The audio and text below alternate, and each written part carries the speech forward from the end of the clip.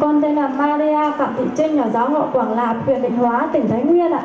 Con xin làm chứng cho con gái của con là khi con của con mới sinh ra thì có bị một cái lang u lang ở trong miệng và con đã nhắn tin xin cha và cộng đoàn cầu nguyện cho con của con và bây giờ con của con đã khỏi rồi ạ. tất cả là vì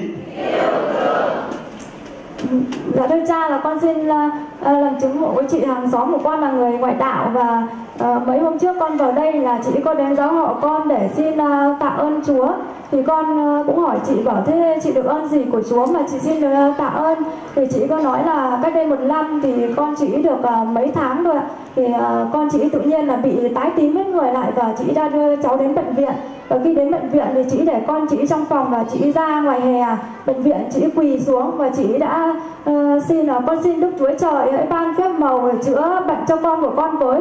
Và mọi người xung quanh đã chạy đến và hỏi và thế chị là người bên công giáo à? Chị nói là chị là người bên lương và sau đó chị chạy vào trong cho con chị thì con chị đã trở lại bình thường. Và chị chỉ bảo um, Chúa chữa cho con chị nhanh quá 15 phút thôi mà con chị đã trở lại bình thường. Hallelujah.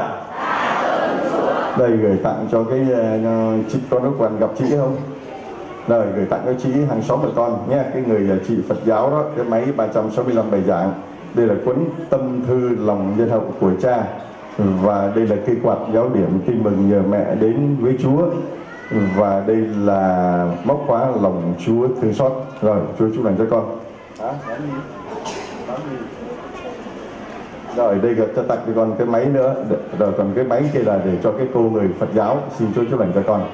Rồi bà có đạo không Huh?